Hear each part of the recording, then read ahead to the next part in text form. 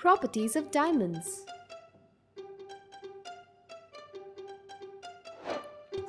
Diamond is an allotrope of carbon. Allotropes are the different structures that an element can exist in. For example, diamond's close cousin graphite is also made up of pure carbon, but because its carbon atoms are packed more loosely, it is softer and brittle. The atomic arrangement of a diamond is called a crystal structure.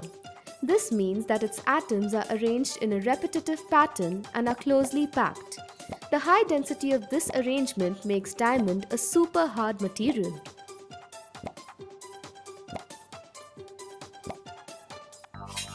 A diamond in its purest form is colorless. The presence of color in a diamond is caused by an impurity. Boron turns the diamond blue. Nitrogen impurities result in a yellow hue. While colors such as brown and pink are caused due to structural defects. The property of a diamond that makes it shiny is its luster.